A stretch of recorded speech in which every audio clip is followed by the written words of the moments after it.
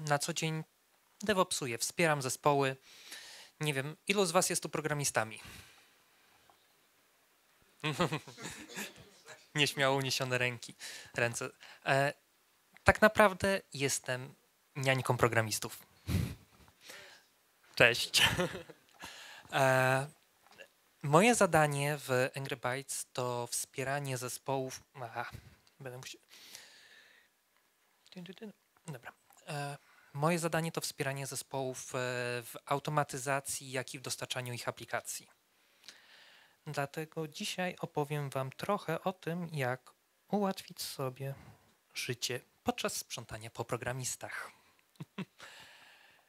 tak, sprzątamy często po programistach. E, cała przygoda zaczyna się wtedy, kiedy aplikacja trafia już na produkcję. I dzieją się wtedy różne rzeczy. Pogoni za, dan za danymi, czyli jeden z podstawowych powodów, dlaczego należy korzystać z Dockera.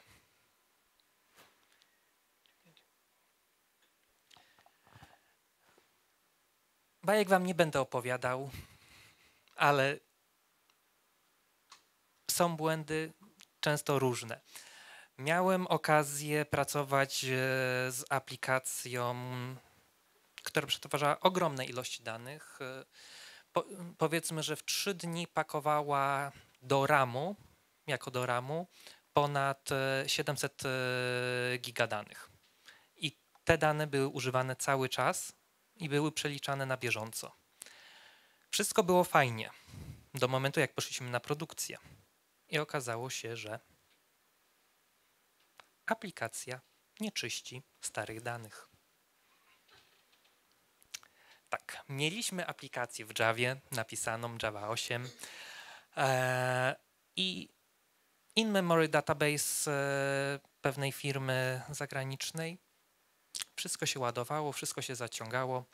Wymóg był, że trzy dni dane mają być trzymane. No tak, to było spełnione. Ładowało trzy, dni, trzy, trzy ostatnie dni danych ale już zapominało je czyścić po tych trzech dniach. Efektem było to, było to że regularnie mieliśmy wysypywaną aplikację i trzeba ją było restartować. Jak możemy to rozwiązać? Ktoś, ktoś coś? Jak możemy rozwiązać problem z przepełniającą się aplikacją, w, przepełniającym się pamięcią w Javie? Aha. To, było, to byłoby cudowne, ale niestety pracujemy w Agile'u, trzeba dostarczać nowe rzeczy. No.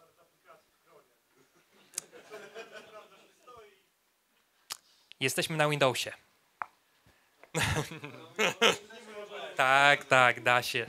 I ostatecznie wtedy to, to, zrobiliśmy, ponieważ nie pozwolono nam zmigrować na Linuxa, gdzie mieliśmy większe, większe możliwości zabawy. E, natomiast jak można by było to rozwiązać obecnie, jak, e, jak to się rozwiązuje obecnie, czyli Docker.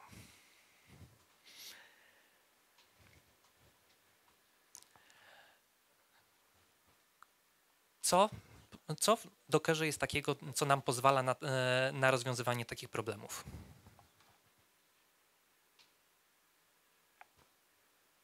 Nikt? Nic? Tak. Odpalamy obraz, ładujemy dane. Ale okej, okay, mamy ten sam problem. Aplikacja cały czas nam e, się wysypuje po paru dniach. Jesteśmy in memory. Robimy in memory wszystko, więc tak naprawdę i tak nie tykamy wolumenów. Mm, nie. E, czemu po prostu nie zrobić e, rozwiązania, które, po prostu, które w momencie wiemy, że ilość danych to jest konkretna ilość giga zajętego. No to czemu nie zrobić e, restartów kontenera w momencie, kiedy przekroczymy ileś konkretnych giga? Jak można to zrobić? W Docker Compose Dość prosto. Tutaj mamy przykład na zwykłym obrazie Redisa, więc dość prosty. Mamy Docker Compose V3 e, to jest najnowsza rewizja przystosowana bardziej pod staki, pod Swarma, Kubernetesa, to co mamy pod spodem. I to, co tutaj odpalicie, jeśli zrobicie zwykły Docker Compose App, nie zadziała. Limitowanie nie zadziała. Obraz się odpali i tak dalej, ale limit nie wskoczy. Dlaczego? Bo jeśli y, pracujemy w Dockerze standalone, trzeba do Docker Compose'a dodać compatibility mode. Dlatego, yy, dlatego tak. W przypadku nakładania limitów nakładamy, yy, yy, to jest limit ważony względem całego systemu i limit pamięci. Tyle? Tyle. W sytuacji co się dzieje? Restart policy. Condition on failure. Opóźnienie, czyli nie walimy cały czas, bo powiedzmy nie mamy, nie mamy ten, dajemy czas na rozładowanie się y, aplikacji systemu. Ile razy ma próbować okienko, jaki, jaki jest czas aplikacji startu? Proste? Chłopaki? Pani, pani nie będę wołał, bo pani wiem, że nie ten. Nie ma na co dzień z tym styczności, ale to tak. Ten. Ok. Jesteśmy jednak. Z, mamy tego Docker Compose'a. Mamy też Ansible. Jak możemy to wszystko zarządzać z Ansible'a? Ktoś z Was?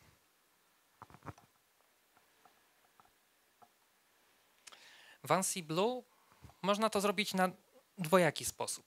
Mamy moduł Docker z Ansible 2,5.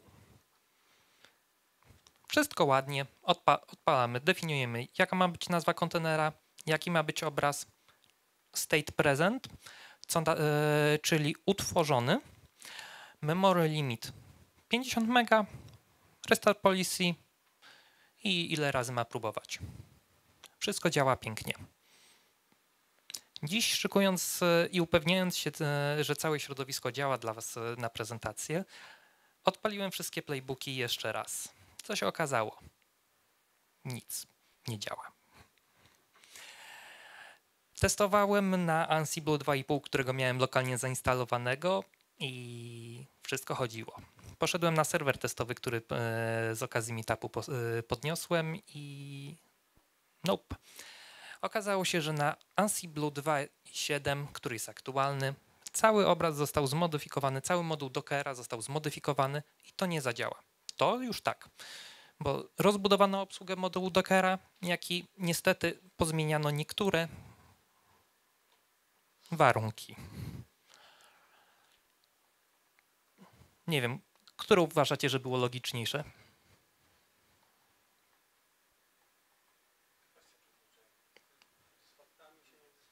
Z faktami się nie dyskutuje. Tak jest i koniec. Dobra.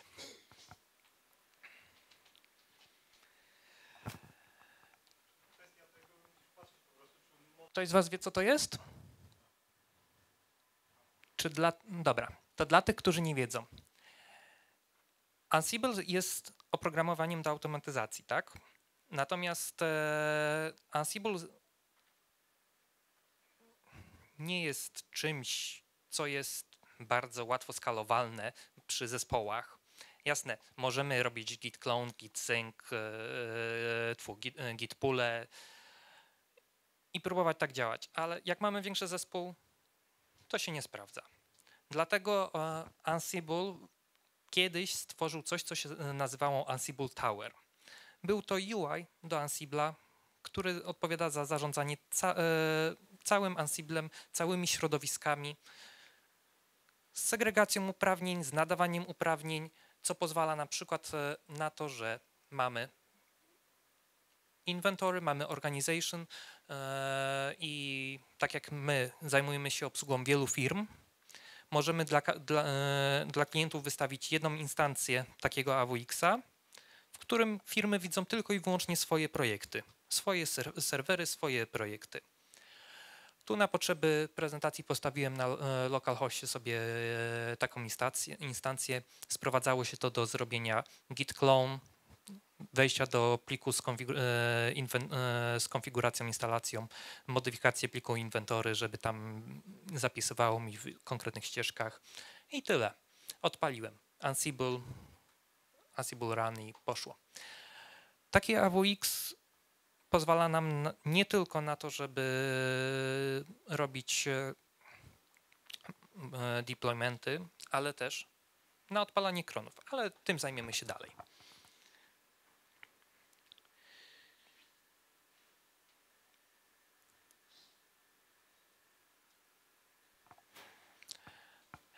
Jestem sobie programistą, chcę odpalić kontener Dockera, mam playbook, admini dali e, ten, mamy inwentory. W inwentory mogę mieć ustalone zasady, że na przykład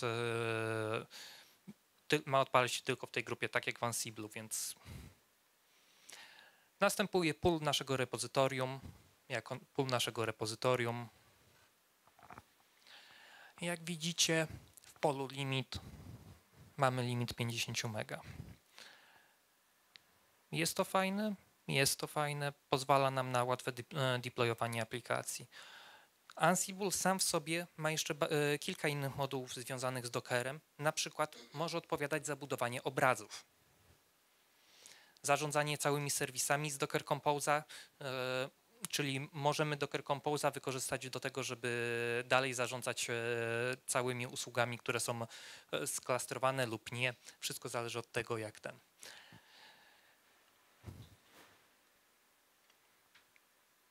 Więc to jest, to jest taki podstawowy przypadek, do czego jest nam potrzebny e, Docker i jak można wykorzystać Ansible'a i jak można zrobić coś w Ansiblu. Natomiast innym dość częstym problemem jest, jak już mamy tego AWX-a i mamy zespół programistów, że e, jest to, że na przykład mamy współdzielone środowisko testowe, na którym e, każdy programista może robić deployment. No dobra, ale QA chce wejść na środowisko i nie chce, żeby nikt mu e, robił jakieś deploymenty po drodze, żeby nikt mu bazy nie zepsuł, nikt mu nie, e, nie pogrzebał plików. Co możemy zrobić?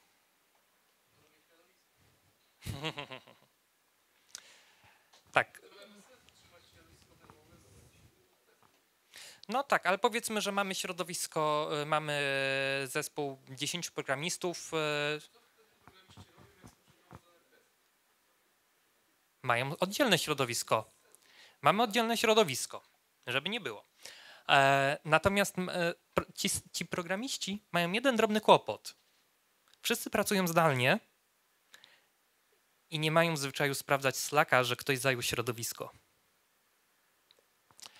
Co na taką sytuację możemy zrobić? Tak, próbowałem, nie udało się. Znaczy, raz się udało, ale więcej nie. E, ja tu tylko dodam, że jeśli będziecie mieli coś do powiedzenia, to dajcie znać, bo na naganiu później nic nie słychać, jak nie mówicie do mikrofonu. Więc prośba wtedy o, nie wiem, podniesienie ręki, ja do was podejdę z mikrofonem. Niestety, e, takie usuwanie, e, takie rozwiązanie jak pozbywanie się programistów nie przechodzi. Niestety. Ale skoro i tak mamy wszystkie deploymenty robione przez Ansible'a, to czemu nie zrobić e, blokad na deployment i dać programistom możliwości blokowania deploymentu? Jak możemy to zrobić? Ansible sam w sobie ma, e, ma moduł, który nazywa się fail. I można, e, można go wywołać ze zwykłym warunkiem when. When coś, then fail. Jak to rozwiązać? Kiedy failować? Kiedy powiedzmy e, jest plik mówiący log deployment. Jak to działa? Bardzo prosto. Mamy sobie mm, cat log. Mamy sobie playbooka, Hosts all w przypadku korzystania z AWX-a jest po prostu wygodne, dlatego że możemy limitować na czym są wykonywane joby z poziomu AWX-a. Więc to nas nie interesuje. Become true, become user. Mówimy po prostu, że mamy zostać rootem. Nie zbieramy faktów. Pre-task setup służy do zbierania tam informacji e, różnych o maszynie. I mamy dwa taski. I one mają e, sobie tagi. Mamy task log, unlock. Odpowiednio mamy lock, unlock w takim jobie. W sytuacji, jeśli programista chce dokonać blokady, wywołuje task log.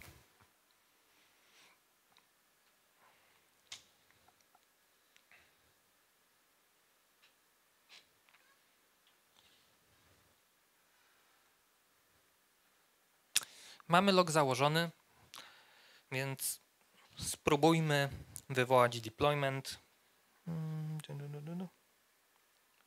Więc mamy check log, który będzie, który jest na, naszym pseudo deploymentem.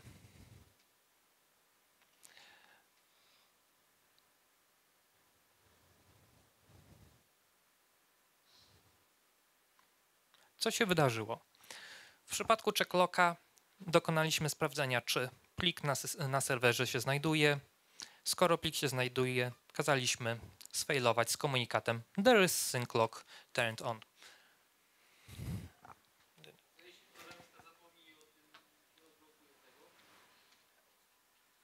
To znaczy co? No to zapyta po prostu na kanale. Tak, w tą stronę można. Więc wykonamy MyView.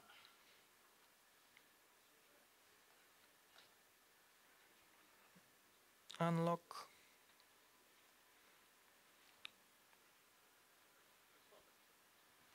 Wykonuję unlocka. Tam tak naprawdę lock polegał na tym, że zrobiliśmy, dotknęliśmy plik, czyli plik powstał o konkretnej nazwie. W, przypadku unlocka robimy RM na tym pliku i tyle. Środowisko, środowisko jest nietykane przez programistów fizycznie, nie mogą wejść na serwer i skasować pliku, więc wszystko jest tu. A dlaczego jest to ważne? Bo każdy job ma historię. I w przypadku, jeśli mamy, wejdziemy sobie w historię takiego joba i każdy programista widzi tą historię i CEO też widzi tą historię co jest przydatne. W przypadku, kiedy mamy, tutaj jestem adminem, no bo lokalna instancja i tak dalej, ale w przypadku, jak jestem na instancji produkcyjnej, mamy tu logowanie po OAuthie, jako logowanie po OAuthie, więc e, login, login jest po prostu przedstawiany, mamy piotr.radosz, niech będzie znaleziony i tyle.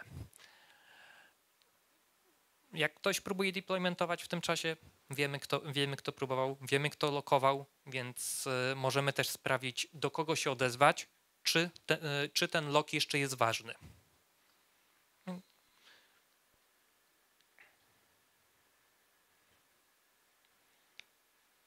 A jak to działa pod, po stronie sprawdzenia? Zrobiliśmy log i teraz w momencie jak tego loka nie ma, Odpalamy nasz deployment, ściągnęliśmy loka.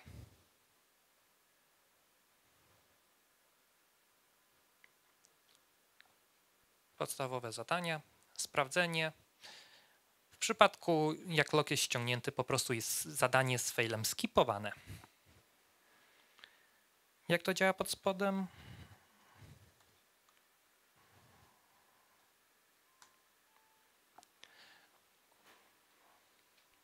Podniesiemy. Zrobimy zwykły stat, czyli sprawdzenie, czy plik istnieje. E, sprawdzamy dane o tym pliku. Ja tu generuję jeszcze checksumy, ale to jest e, mojej widzimisię, ponieważ mogę wykorzystać po prostu e, dodatkowo różne checksumy bazując na tym pliku, bo tworząc loka mogę na przykład powiedzieć, kto utworzył loka i tak dalej dodatkowo. Robię fail, when, tutaj robię rejestrację, że zarejestruj dane wyjściowe z tego, z tego zadania pod nazwą synclog file. I tutaj robię w, w sytuacji, jeśli synclog file, stat i plik istnieje, fail, czyli zwykły true. If true, jesteśmy w domu. Dobra. Jakieś pytanie jak, jak na teraz?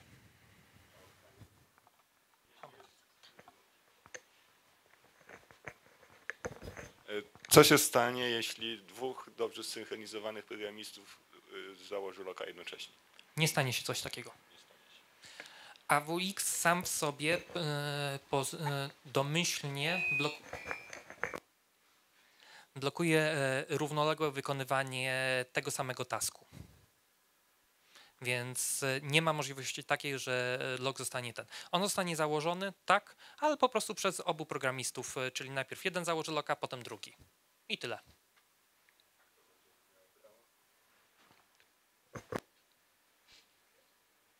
Kto będzie ważniejszy? Ale log jest, log jest uniwersalną rzeczą. Każdy programista może założyć i ściągnąć loka. To nie jest to, że programista, który założy loka, musi go ściągnąć.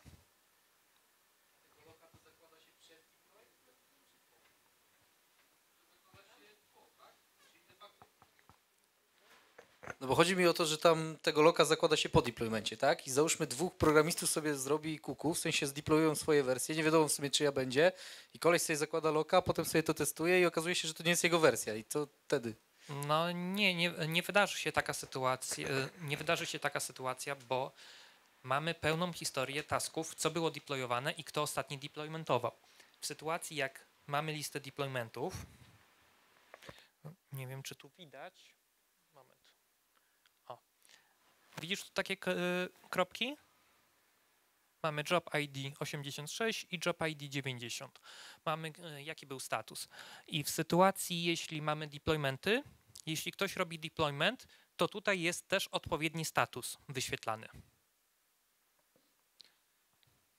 Więc.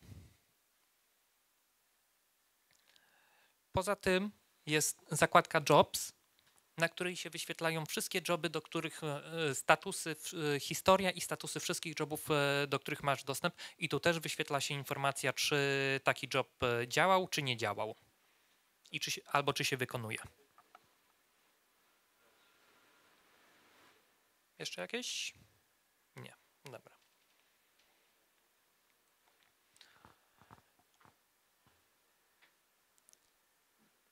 Co w takim razie wróćmy do, do Dockera. Skoro możemy zablokować środowisko, wszystko jest fajnie, ale mamy CI, tak? Mamy środowiska do, do deploymentów.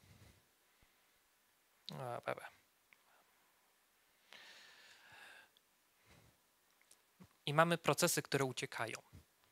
Nie wiem, kto z Was e, pracował w Rabim z procesami albo z superwizorem? E, co tam jeszcze było w tym zestawie?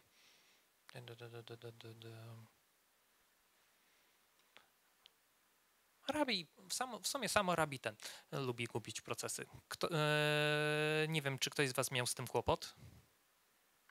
Albo ktoś chciał przyciąć kiedyś chroma i to, ile procesów on od, odpala? Nikt? Kurczę, to ja chyba mam jakieś nie, niespotykane przypadki. W przypadku, e, w sytuacji, jeśli mamy kontenery i mamy procesy, które uciekają, e, które nie lubią być e, trzymane, albo powiedzmy, chcemy zabezpieczyć kontener, żeby nic więcej się nie odpaliło w nim, co możemy zrobić? Sam Docker korzysta z namespace'ów, jak i cgroupsów. Dzięki tym dwóm technologiom jesteśmy w stanie limitować, ile procesów jest w stanie działać w kontenerze. Jest na to zwykła opcja PID limit. Dobra, teraz muszę coś wymyślić, żeby mikrofon trzymać. Nep. Pytanie do Was. Ile PIDów potrzebuje Ubuntu w kontenerze, żeby odpalić basha? Jeden? Słyszę ten. Ktoś da więcej? Ktoś. Yy... Czy wszyscy twierdzą, że wystarczy jeden? Mamy trzy. Dobra. Mamy pięć, dobra. Zobaczymy, kto, by, kto będzie najbliżej.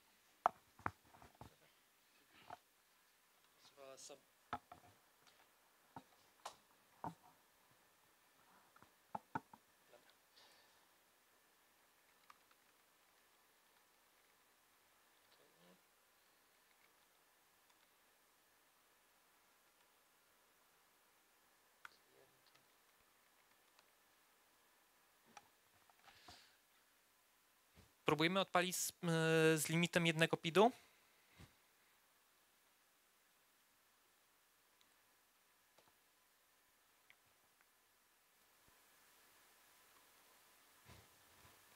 Bum.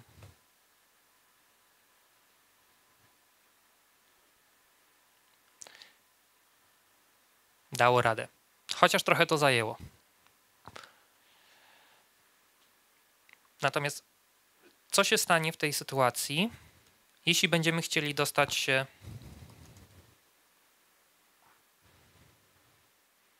do tego kontenera? PS. Dostaliśmy nazwę taką.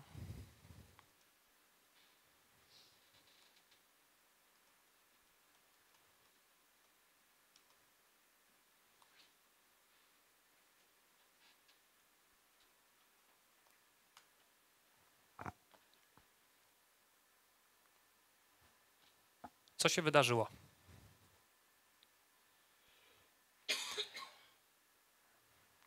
Do gry wkroczyły limity, które założyliśmy. Ach, nie zauważyłem ręki.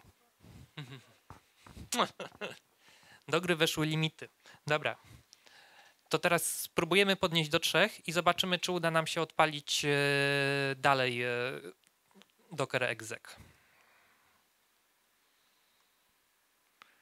Jeszcze zrobimy tak. Name Ubuntu. Jeszcze niech, so, niech po sobie sprząta.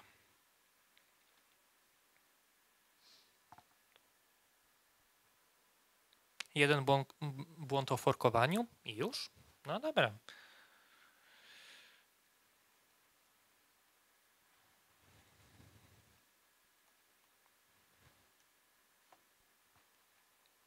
Buu. Nie działa. To co? Próbujemy wyżej, czy nie?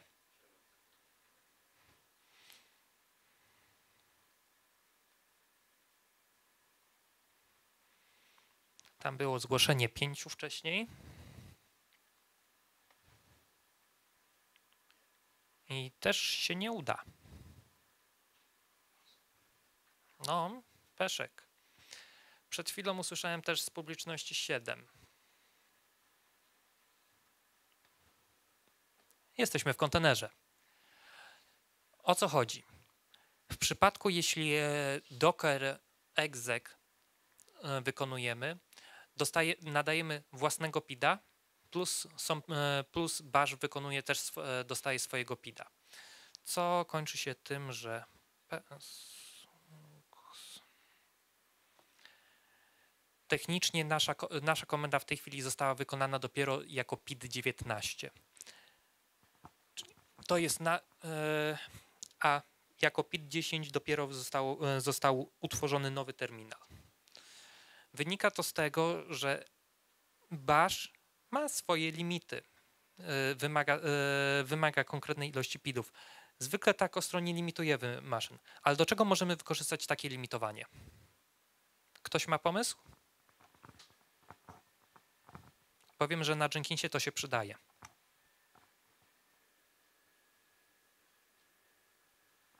Pusto. Jak często bawicie się w rekurencję?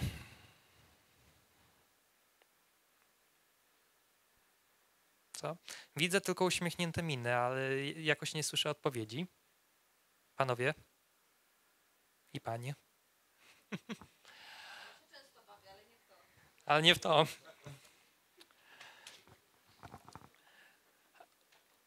Dość często zdarza się, że jeśli e, pracujemy na subprocesach, e, na, f- na forkowaniu procesów, e, niech to będzie Ruby, niech to będzie Python, może się zdarzyć sytuacja, że sami sobie ubijemy maszynę, czyli wykonamy fork bombę.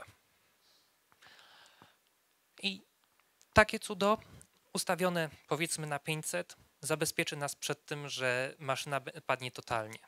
A na Jenkinsie przydaje się Przydaje się, dlatego że Jenkins, jak dostanie kilka takich procesów, może stać się całkowicie nieresponsywny. Zakładamy tutaj, że jest to czysta maszyna, która nie ma założonych limitów po stronie serwera, nie ma edytowanych C-groupsów. E, po prostu chcemy wykorzystać najprostszą możliwą opcję. Pit limit i tutaj.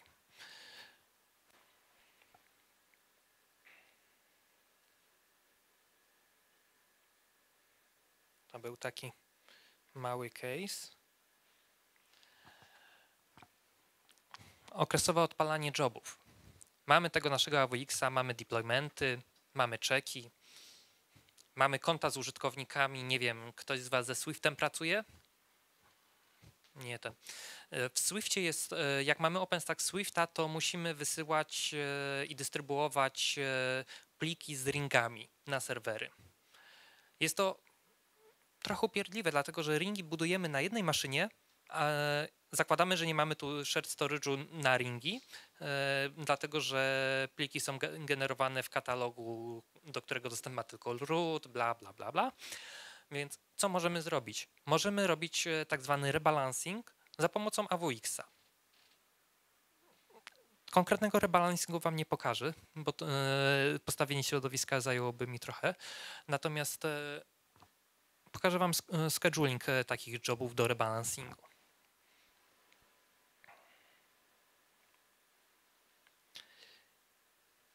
Kiedy generujemy joba, powiedzmy check log.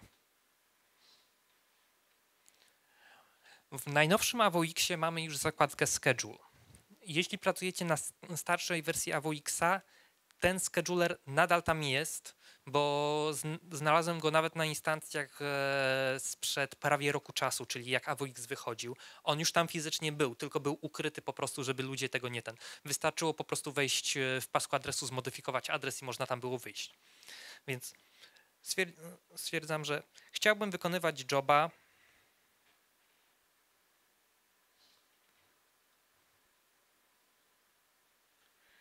check 1 zaczynamy dzisiaj start time 00 Europa Berlin. I co ile ma się wykonywać? A niech idzie co minutę. Save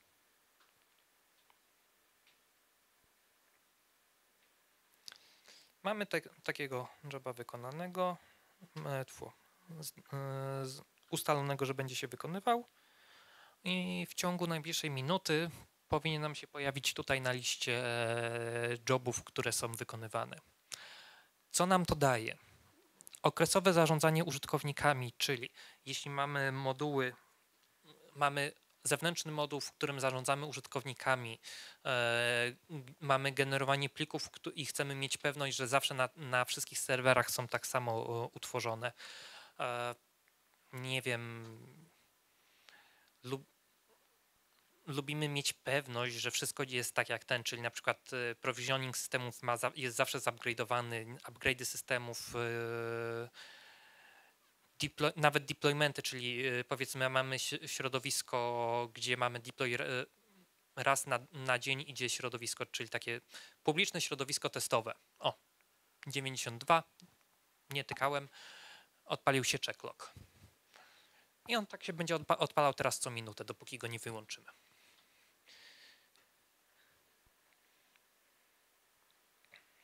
Oczywiście on w historii tu będzie.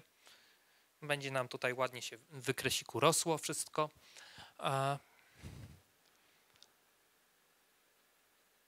Czy to się przydaje? Tak. Czy mamy to w zwykłym, Ansible bez zarządzania? Jak ktoś się lubi grzebać w kronie, to tak. Dobra. A pytam, e, pytanko, ile z Was, ile, ilu, ile osób właściwie na sali pracowało kiedyś z Capistrano? Dobra. To będę miał coś dla Was.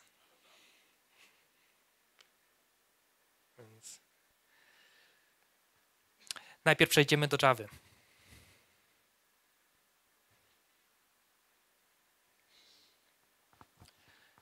Ktoś z Was wie, dlaczego konteneryzacja Java była nieprzyjemna? Tak do wersji 10. Właściwie do 11 e, obecnej. Nie, ten. Dobra. E, jestem opsem. Wcześniej nakładałem limity na aplikacje, prawda? E, miałem tego swojego Redisa, na którego założyłem limit 50 mega. Wszystko fajnie. Natomiast Java posiada własne mechanizmy do sprawdzania, ile ma zasobów dostępnych. JVM cały. I psikus z tym JVM-em polegał na tym, że nie weryfikował danych bazując o C-groupsy, jak to jest e, wykonywane w większości aplikacji obecnie, tylko robił to sprawdzając e, czyste dane bare metala lub wirtualki, no, ale wirtualka po prostu widziała swoje dane konkretne. Czym się to, kończy, e, czym się to kończyło? Nawet jak założyliśmy limity, to taka aplikacja tych, tych limitów nie widziała i potrafiła się wyłożyć. Jasne, mamy XMS, X, XMX, super. Niestety przy, im większa aplikacja, tym te wartości są bardziej niedokładne. Eee, jak przekroczymy już pe pewną e, pulę gigabajtów, e, mamy Java odpaloną z XMS powiedzmy 256 giga i XMX e, na 512 giga, to ta aplikacja nie będzie chciała zjeść 512 giga. Nie, będzie chciała zjeść jakieś 520 giga. Bo jakieś tam rzeczy Java jeszcze się ładują w tle, w tle, które nie są uwzględnione przez XMS i XMX. Było to niemiłe, bo nawet jeśli mieliśmy e, limit założony na aplikację, to ten limit musiał być i tak niższy, niż realnie taka aplikacja dostawała. Czyli XMX e, maksymalny musiał być i tak niższy niż limit, jaki zakładaliśmy na kontener Dockera, bo aplikacja, maszyna wirtualna Java nie brała pod uwagę tego, że ma na C-Groupsie założony limit. To zmieniło się przy Dockerze w wydaniu 10. Ostatecz, e, ostateczne rozwiązanie większości problemów z konteneryzacją weszło dopiero w obecnym LTS-ie, przy którego instalacji też radzę Wam uważać, bo e, Oracle zmieniło licencję. Więc na, jak odpalicie Oracle J, e, JDK na produkcji, to witajcie prawnicy. Ale co się zmieniło? Mamy te i. Mamy też kontenery i jak mamy wszystko na jednej maszynie, mamy wszystkie powiązania statyczne, że się tak wyrażę, nic się nie zmienia po drodze, to nie mamy problemu. Natomiast w przypadku, jeśli e, mamy aplikację rozproszoną, powiedzmy klaster tak. E, klaster składający się już e, z dwóch baz danych, e, Haproxy, który robi failover. W sytuacji, kiedy baza danych się wy, wyłożyła, takie, takie Haproxy ok, kierowało na nową maszynę, jasne, ale niech się wyłoży Haproxy i niech w grę wejdzie drugie Haproxy. Java już tego nie załapie. Do Java 11 bodajże właśnie, e, Java domyśl, korzystała z DNS cache'a z domyślną wartością e, czasu cache'owania infinity. Więc o ile zespół programistyczny nie wiedział o tym lub e, obcy o tym nie wiedziały, to mogliście wejść na produkcję, mogliście zacząć widzieć różne dziwne sytuacje. Na przykład zmienił wam się master albo zmienił, e, zrestartował się kontener e, z aplikacją, e, do której się łączyliście, dostał nowy adres IP w klastrze i aplikacja nie działa. Czemu? Bo, bo ma stare rekordy. Teraz nie ma tego problemu. To można rozwiązać edytując e, albo e, konfigurację startową aplikacji, lub można robić to bezproblemowo z poziomu Docker Compose. Nadal jest to cache'owanie zrobione w Javie, natomiast wartość TTL chyba wynosi obecnie domyślnie 10 albo 30 sekund, a nie infinity jak było.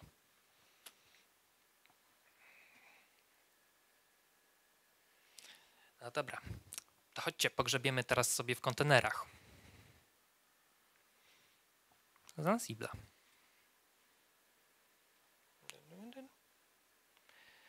Mamy.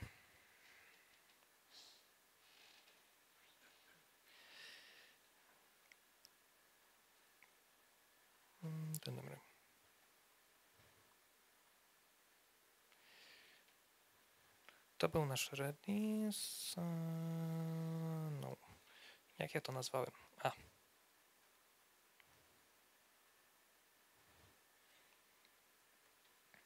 Docker exec. Ansible jest zajebiste, jasne. Pozwala nam na bardzo dużo rzeczy. Ale obsługa Docker execa w kontenerach jest nadal do kitu. Jak to robić? Mamy sobie ten nasz kontener z Redisem, który działał. E, ale po, pomyślmy, że jest to aplikacja w PHP, niech to będzie Symfony, e, które ma włączony debug log, bo programiści nie potrafią tego wyłączyć.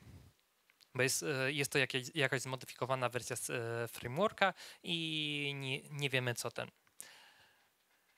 W takiej sytuacji, no niestety te logi trzeba jakoś czyścić.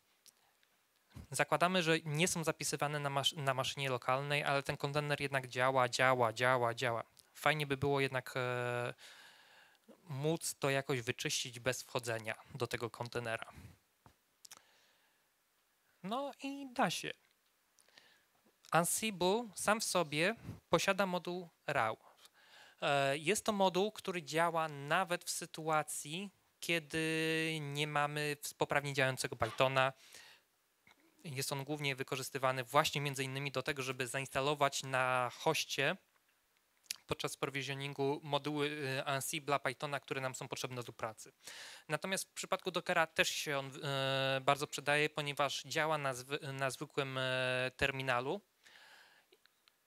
i wygląda to tak, że wykonujemy sobie tutaj TI w Dockerze to jest alokacja terminalu.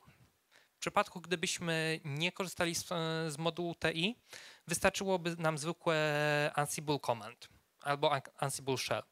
W przypadku, jeśli mamy TI, kiedy, gdzie mamy po prostu interaktywną sesję, potrzebujemy czystego, czystej komendy RAP. I teraz mamy sobie task. Utwórz plik tymczasowy, usuń plik tymczasowy, run migrate on Django. On, on Django. Nie usunąłem ten, wziąłem z in, innego mojego playbooka. No i wyszło ten. Tak naprawdę chcę wylistować informację, co to za kontener. No to co? Odpalmy to.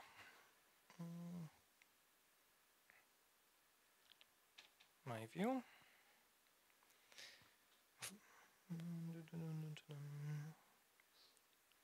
Container commands.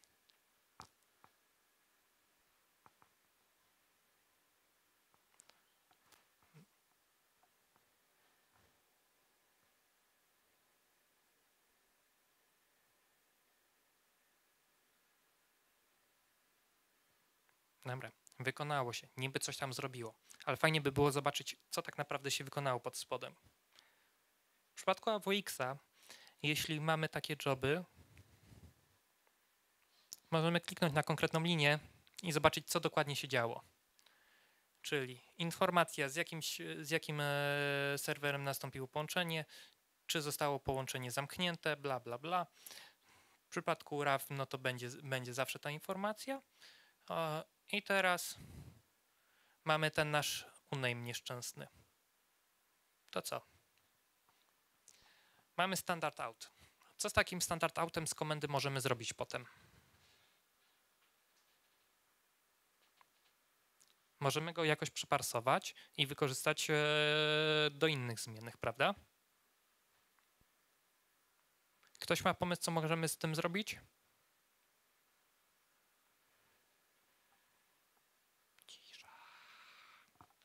No dobra. Skoro nie macie pomysłów, to nie będziemy z tym grzebać. Natomiast e, jak widzicie, taki job, jak się wykona, ma pełnego JSONa, ponieważ Ansible zapisuje wszystko w JSONach, ma y, AWX wyświetla informacje ze standard outu i ze standard erroru, czyli wszystko jest ładnie logowane. Jako wszystko jest ładnie logowane. Jasne. Mamy Dockera ale może jednak nie chcemy klikać tego, nie chcemy czyścić tego z poziomu AWX-a, tylko niech to się wykonuje na fizycznym serwerze.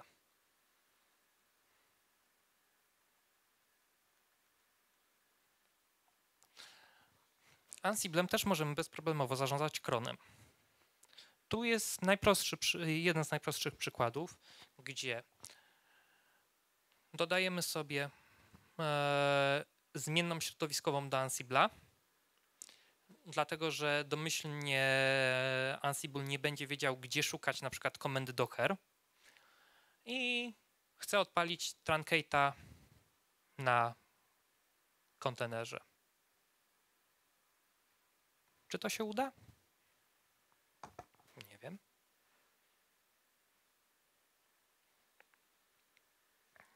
Mhm.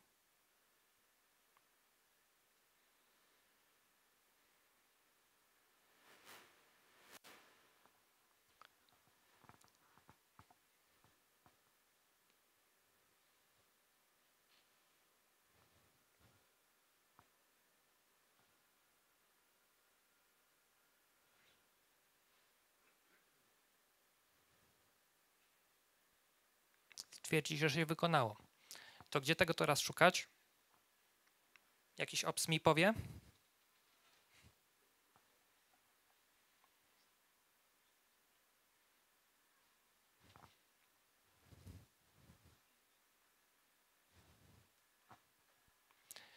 Na userze Ansibla tego nie ma.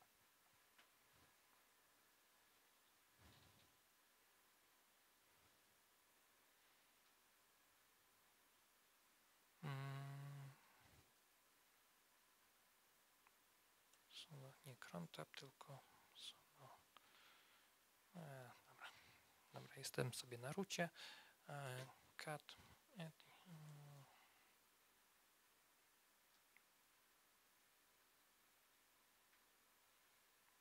W pliku cronktaba też tego, tego nie ma. Ansible w wartościach domyślnych nie, e, nie zapisuje crontaba w, war- e, w informacji, e, jaką. Ansible w wartościach domyślnych zapisuje crontaba na użytkowników, w którym się wykonuje. Tylko w przypadku joba, który wykonywaliśmy, mamy user root dodanego, czyli Ansible zamiast zapisać w kronie lub w cron, e, deploy usera, i zamiast dodać go do katalogu crontab, e, do pliku crontab lub do katalogu crond, cron e, hour or, lub coś w tym stylu, crontab z- e, dodał go sobie ładnie do tego. I teraz, żeby I teraz tak. Mamy nasze, nasze doda, nasz dodany path, jako mamy nasz dodany path, jak i mamy komentarz i komendę, którą, jest, y, którą dodaliśmy. W przypadku, jeśli zarządzamy crontabem z poziomu Ansibla, możemy nie tylko dodawać, jak i usuwać. Przy, y, I obecnie mamy truncate in container, ale powiedzmy, że chciałbym to zmienić i chciałbym usunąć ten wpis.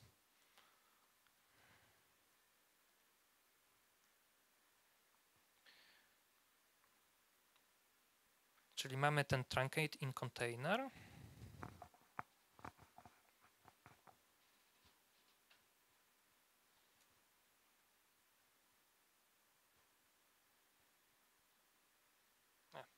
Już sobie naszykowałem e, wcześniej. Dodamy tego state. Okay.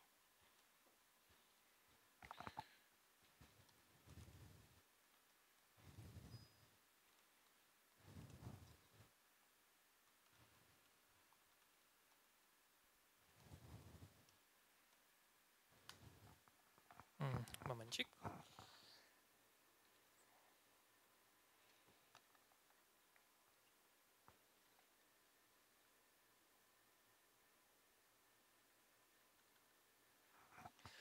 Jednym z wymogów u nas jest to, że korzystamy z e, kluczy GPG, GPG zamiast SSH, więc e, wszystkie komity e, i wszystkie połączenia idą przez GPG. A to wymaga niestety oddzielnej autoryzacji po uśpieniu komputera. Dobrze. Wysłaliśmy zmiany wracamy do naszego AWX-a. W przypadku, jeśli mamy ustawione nasze repo, mamy ustawione cache'owanie naszego repo lub e, odświeżanie co ten, tu jest odświeżanie e, co każde wykonanie. Natomiast mam sobie moje prywatne repo e, z GitHuba, jest zaciągane, klikam odśwież i takie repo się wykonuje. Nie ma, nie ma. Tutaj nic nie widzimy. O. Przepraszam Was. Mamy meetup repo 130 i mamy, mamy całą historię od tego, jak było repo odświeżane, co się, wywa- co się wywaliło, hi- historia, jak, które wersje były, requirementy. To wszystko jest dostępne. Dobra. No to co? Wróćmy do naszego krona nieszczęsnego.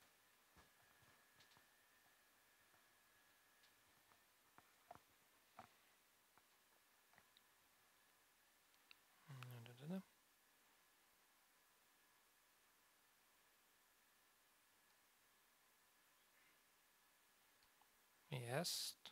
E, co tu się dzieje? To nie ja.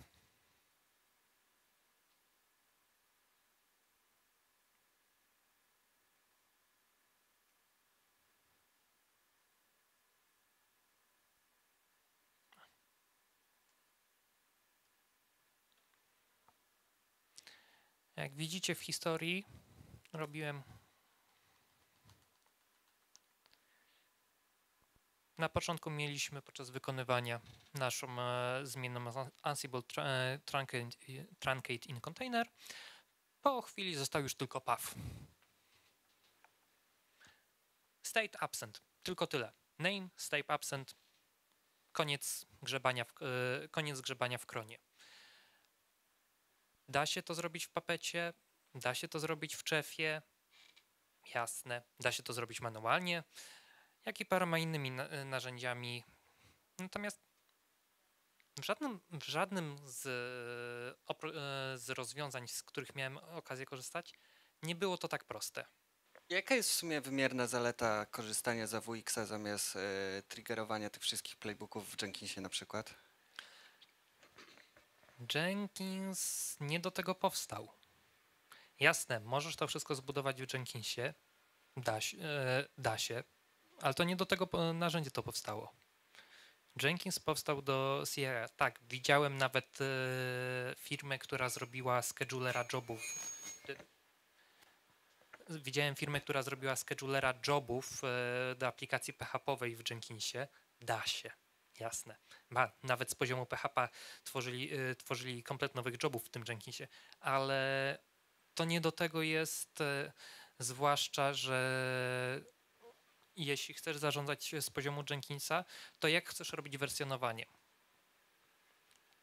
Joby z, joby z, z modułu na przykład Gita, jak masz GitHuba, wykrywanie, automatycznie się wykonują po zmianach repo. Niekoniecznie. No, niekoniecznie, ale ile, ile modyfikacji musisz e, wykonać względem e, takiego ten? I e, czy korzystasz z pipeline'ów, czy korzystasz ze starego systemu? No załóżmy, że, że, że korzystam z y, pipeline'ów, tak? Dobra. No to mamy sobie pipeliny. O, kolejny. Nie wiem, czy, e, czy zwróciliście uwagę, jak migało przez chwilę activity przy, przy pierwszym z lewej. Natomiast e, w przypadku Jenkinsa, tak, da, e, da się to wszystko wykonać z poziomu Jenkinsa. Natomiast to wszystko jest dość pokręcone, jeśli chcemy rozwijać to jeszcze bardziej. Załóż, e, załóżmy, że ja mam kilka firm, które potrzebują zestawu tych samych rzeczy. W przypadku, jeśli mam e, Jenkinsa, zrobić Jenkinsa tak, żeby wszyscy, wszyscy ci klienci mogli się do, dostać do tego systemu, nie widzieć nawzajem swoich, y, swoich zadań, nie mieć dostępu do swoich maszyn, nie widzieć swoich maszyn, bo przy, y, przede wszystkim w przypadku AWX-a każdy klient może mieć swoje własne inwentory. E, I uprawnienie do inwentory, na przykład e, jeden klient może mieć kilka inwentory i różne osoby mogą mieć upra- uprawnienia do różnych inwentory też do wykonywania rzeczy. Jak i modyfikacji. Takie. W przypadku demo, wrócę ten. Ja sobie definiuję kilka ten. Ansible Environment Production to jest moje, e, moje moja zmienna, którą wykorzystuję po prostu do rozróżniania środowisk. Ustawiam sobie DNS Resolvera, o właśnie. Ja wam pokazywałem przykłady zwykłej, e, zwykłej pracy, prawda? E, ale w przypadku Jenkinsa, jak łatwo zdefiniujesz e, provisioning całego nowego systemu operacyjnego? No, no tak. Ansiblem zrobisz. Tak samo jak Ansiblem z, e, z, jesteś w stanie zarządzać sprzętem sieciowym. Z, e, możesz zarządzać kontenerami, sprzętem sieciowym. Tak naprawdę modułów jest multum. E, do tego stopnia, że mam playbooki, które generują Let's Encrypta bez Let's Encrypta. Tak, da się i jest to całkiem przydatne przypadku na przykład e, certyfikatów wildcard. I do tego na przykład scheduler się przydaje, bo robisz sobie cron joba, który wykonuje wszystko, odpalasz, e, dodajesz go do schedulera i zapominasz o tym, że musisz e, nowe Let's Encrypty generować.